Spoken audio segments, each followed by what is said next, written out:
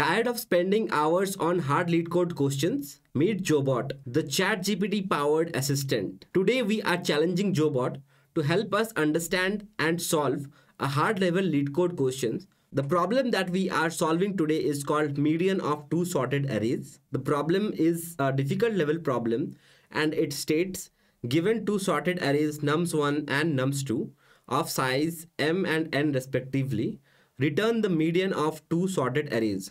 The overall runtime complexity should be O of log m plus n. This last statement makes the problem difficult.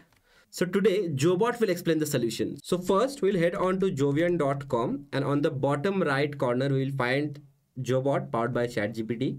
We'll extend it and I'll paste the question and some sample input output here. I've already created a prompt with it so I'll paste it. If you want to watch the prompt you can just pause the video and read it. But yeah with that I'll provide this. And Jobot will provide me the solution for this. And it should not provide me the code directly. It should only give the solution.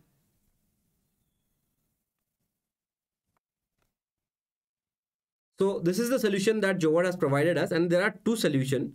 In the first solution it says we can use two pointers approach to merge the two sorted arrays into a single array and then obviously find the median out of it but this approach will take a time complexity of big O of m plus n that is linear time complexity. So we are not interested about this approach. There is another approach that Jobot mentions which will take log of m plus n time complexity. So there are two arrays nums1 and nums2. We are considering the nums1 as the first array and nums2 as the second array. And now we are changing the partition to make both the arrays of equal length. And the first element of the second array will be greater then the last element of the first array in sorted order. So if we arrange the arrays in that order, then we can easily find the median by finding the average of the last element of the first array and the first element of the last array. That is what is mentioned in this solution. Now you can try to go through the solution more thoroughly and understand it. But let's move ahead with the code. So I'll ask to provide the code in Python and let's see what it gives.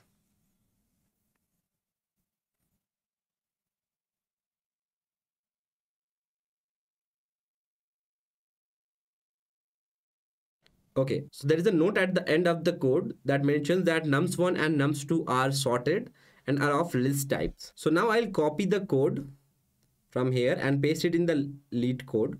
So let me do that and I'll run the code and let's see if the solution that is provided is correct or not. And it seems it's passing the sample inputs and outputs. I'll submit it now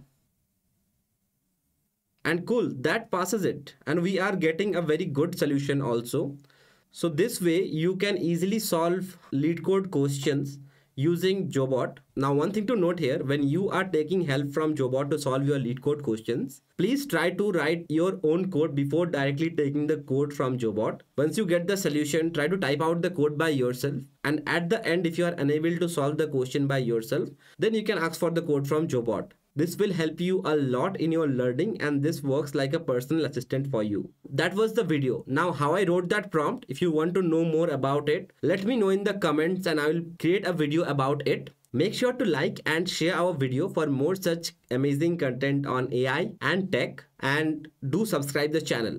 Thank you and see you on another video.